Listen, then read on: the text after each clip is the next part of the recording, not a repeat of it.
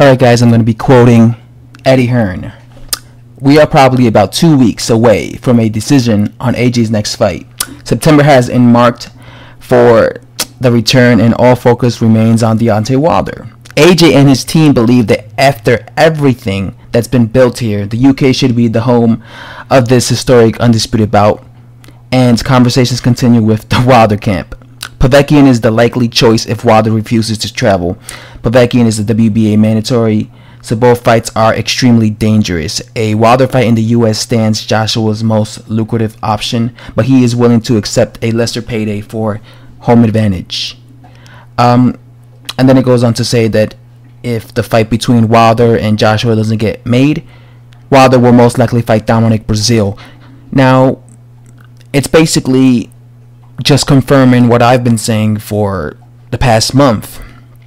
I said months ago, uh, matter of fact, I said last year that Deontay Wilder's next opponent after he gets past uh, Luis Ortiz would be Dominic Breazeale.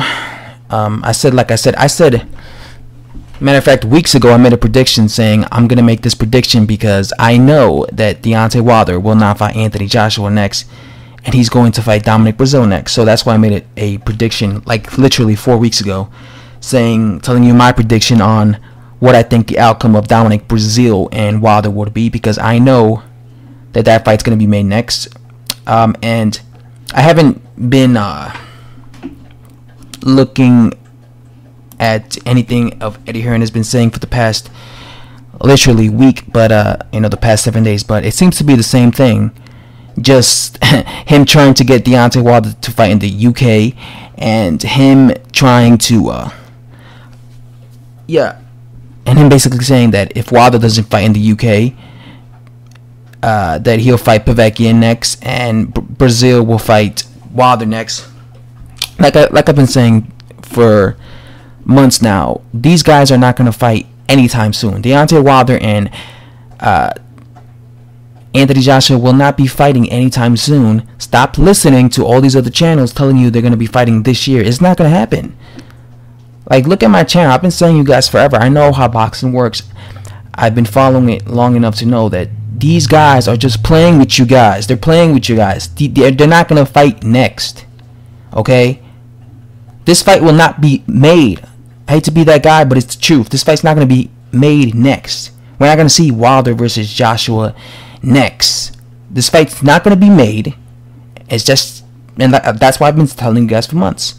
Wilder will fight Dominic Breazeale and easily beat him and knock him out round six, and uh, Joshua will fight Povetkin. So that's why I haven't really been even caring about making videos about, especially Wilder or Eddie Hearn or you know Joshua, because I already know what's gonna happen next. I know that these guys are gonna fight uh, other opponents, Povetkin and Breazeale. So what's the point of making all these, you know, videos telling you what the promoter says or what this guy says or what that guy says or what this guy says? You got all these channels making these videos telling you what the promoter says, but we already know that that's they're not gonna fight next. So that's why I'm not gonna waste my time doing that. Cause what's the point of making 20 videos telling you what Eddie Hearn said when you know they're not gonna fight regardless? So like I said it's going to be easy money for Joshua and Wilder because they're both better than their opponents. They're both better than Povetkin will get destroyed by AJ. Povetkin is already past his prime.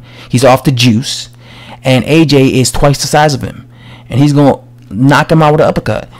Dominic Breazeale is an is a very, you know, limited fighter, slow, uh, no defense. He'll walk right into a right hand and it'll be over. Uh, so yeah, this is easy money. Uh, and as far as, you know, Eddie Hearn saying that Wilder should be fighting on uh, in the UK. Like I said, um, I don't care where this fight happens, but you know every great fighter should at one point come to America. I don't like the idea that AJ is trying to fight his whole career in the United Kingdom. At least fight, you know, sometimes in in the United States. You know, there's nothing wrong with fighting in the United States.